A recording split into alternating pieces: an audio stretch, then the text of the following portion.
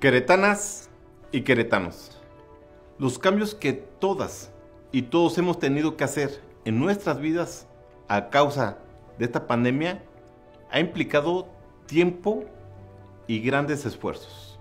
A través de diferentes canales de escucha y participación, sabemos que el sentimiento generalizado es de abatimiento, preocupación y cansancio, que la crisis de salud ha provocado crisis económica para muchas familias.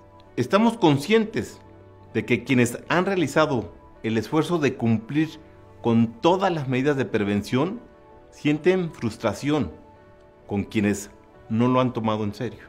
Pero hemos sido pacientes unos con otros. Hemos puesto en tus manos el tomar decisiones que nos lleven a evitar volver al confinamiento e interrumpir los esfuerzos de todos. Pero quiero ser categórico para no dejar lugar a dudas. No podemos relajarnos. No vamos a permitir que la enfermedad avance y menos que disminuya el nivel de responsabilidad ciudadana. Recordemos que nos enfrentamos a un fenómeno natural en el que no podemos negociar, que no tiene de tolerancia o de razones. Por el contrario, aprovecha la oportunidad que le presentamos para cobrar un alto precio que se traduce en vidas queridas y valiosas de queretanas y queretanos.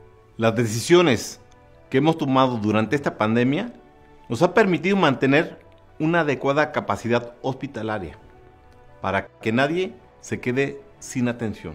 Hoy realizamos cinco pruebas a contactos de cada caso positivo, mientras que la media nacional es de dos. Hemos realizado más de 42 mil pruebas. En octubre alcanzamos un promedio de mil pruebas diarias de PCR y agregaremos 500 pruebas rápidas. Hemos detectado casi 4.000 casos asintomáticos, a quienes se aisló inmediatamente, evitando así cerca de 20.000 contagios. Quienes requieren un espacio seguro una vez que dan positivo a la enfermedad, para su atención y seguimiento pueden acudir a la unidad médica de aislamiento UMA con capacidad para 700 usuarios.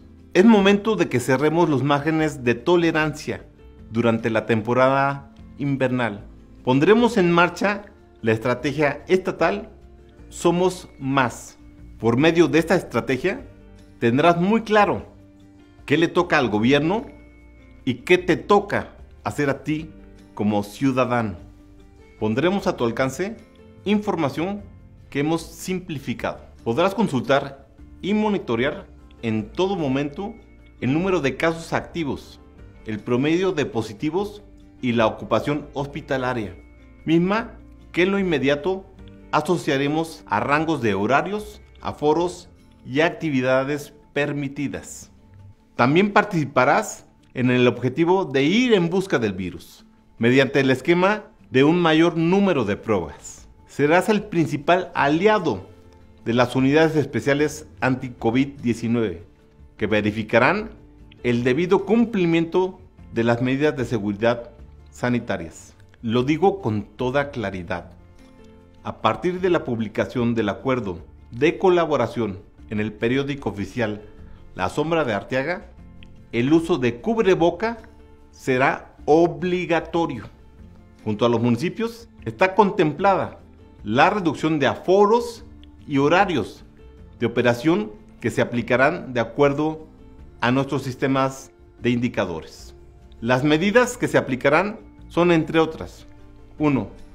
Cierre de establecimientos comerciales a las 20 horas con un aforo de 30% y solo una persona por familia. 2. Cierre de restaurantes y cafeterías a las 22 horas, de lunes a sábado manteniéndose cerrados los domingos al público en general, pudiendo ofrecer servicio a domicilio. 3. Venta de alcohol en envase abierto o cerrado hasta las 22 horas de lunes a sábado, sin venta los domingos. 4. Reducción de aforos en espacios públicos al 30%. 5. Uso obligatorio de cubrebocas en espacios públicos, incluyendo el transporte público. 6. Prohibición de eventos masivos o sociales, bodas, bautizos o fiestas de más de 100 personas. Limitar las reuniones particulares donde no se cumpla la sana distancia de 1.5 metros por persona. Podrás enterarte de los detalles de la estrategia Somos Más inmediatamente después de este anuncio a través de la vocería organizacional. La tabla completa de foros y medidas podrás consultarlas en el micrositio. Reitero, si no logramos estar dentro de las metas establecidas, en el sistema de indicadores, las medidas de modulación social entrarán en vigor de inmediato. No le daremos tiempo ni lugar al virus para que siga creciendo, especialmente en la temporada decembrina, donde tienes la oportunidad de lograr parte de tu recuperación económica.